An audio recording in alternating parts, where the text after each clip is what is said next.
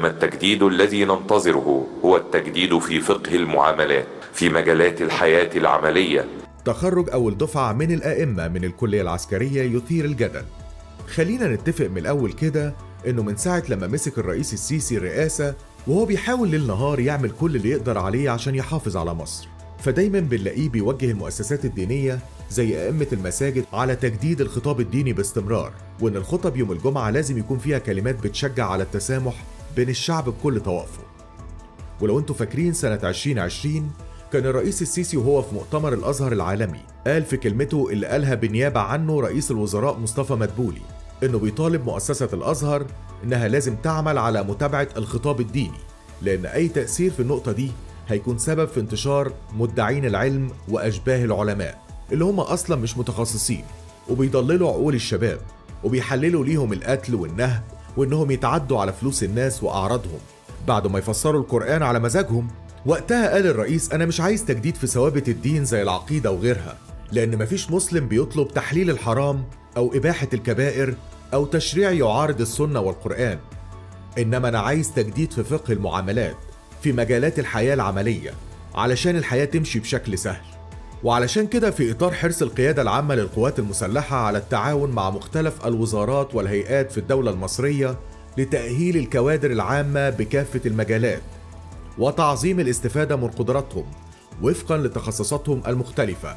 قامت كلية الضباط الاحتياط في مصر بالإعلان على إنها خرجت أول دفعة من الآئمة علشان يشتغلوا بوزارة الأوقاف بعد ما أخدوا تدريب مكثف بالكلية العسكرية. يساعدهم على حث الشعب على مواجهة التطرف والإرهاب.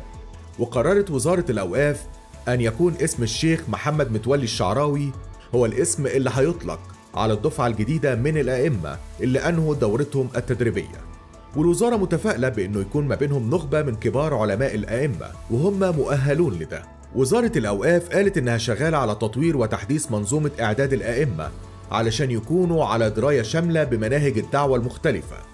وإزاي يعملوا خطبة بشكل منهجي علمي علشان تأثر في الناس. لكن من ساعة ما اتعرف الخبر والدنيا ما قعدتش على ال social media ففي اللي سخر من الموضوع وقال إن الرئيس عايز يعمل عسكرة في كل المؤسسات. دي مهزلة تخيل إمام برتبة لواء ولا مؤذن على الريف وطبعا إحنا عارفين الرأي ده من جماعة اللي هم عايزين يهدموا أي نجاح للرئيس. وفي اللي اتصدم وقال إيه الخلبطيطة دي؟ لما كلية الضباط الاحتياط بتخرج أئمة مساجد أمال كلية الفقه والتفسير هتخرج ضباط مدفعية؟ هل دول أزهريين خريج الكليات الدينية من جامعة الأزهر؟ دخلوا الجيش كضباط احتياط في الجيش هيستخدمهم كأئمة داخل الوحدات العسكرية؟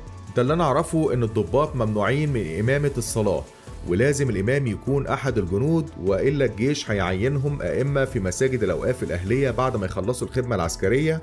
ولا دول أئمة في الأوقاف بالفعل راحوا وخدوا دورة في كلية الضباط الاحتياط ولا مين بيودي على فين واللي قال ألف مبروك للشيوخ الجدد دي خطوة عظيمة عملها الرئيس علشان فعلا لازم يكون في إشراف من الجيش على المؤسسات الدينية علشان الأئمة توعي الناس بالقضايا المختلفة وتعرفهم إزاي يواجهوا الإرهاب وإنت يا عزيزي مشاهد عين مصر شايف خطوة تخريج دفعة من الأئمة بعد ما أخدوا تدريب عسكري هتعمل إيه لمصر؟